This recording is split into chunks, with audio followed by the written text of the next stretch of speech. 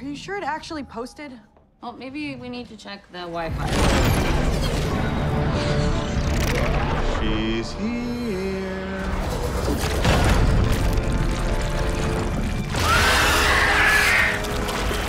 Mila!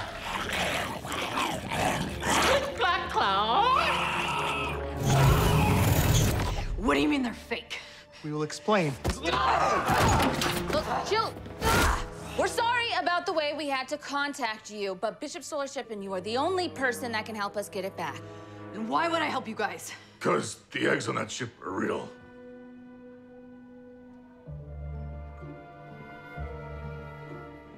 And how did you survive? Miracle of childbirth. Bishop acted as midwife and saved Roy's life. Those eggs are gonna hatch soon. I have to go and protect them. Wait. Ever since that night on the planet, I've never stopped thinking about you.